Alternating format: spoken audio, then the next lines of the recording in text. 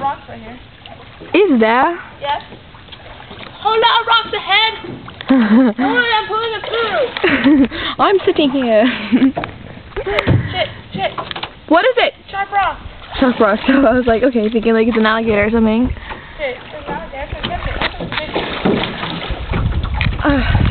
I love my job. So pretty, Kayla. Oh, look at all this pretty green grass on the block here. We should camp there one day. Ow, ow, ow, ow. Sharp rocks. Sharp rocks.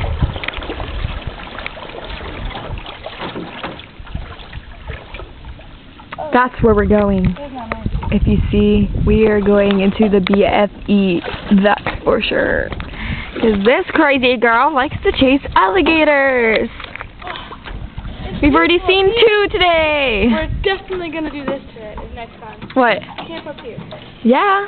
It's nice and pretty, and when you wake up, you might actually see some clear sand. Sand and muck. It's not anymore. Oh, what's this? Is that a skeleton? It's a rock.